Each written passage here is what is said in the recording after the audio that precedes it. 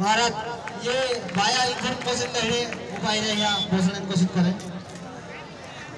शोभाराम महाराज, भोपाल, गाँव कुलारी कुलारी गाँव से शोभाराम महाराज आई चावे